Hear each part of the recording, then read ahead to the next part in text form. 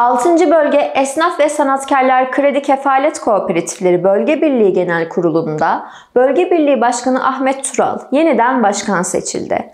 Başkan Tural deprem felaketinin yaralarının devlet millet işbirliği ile en kısa sürede sarılacağını söyledi.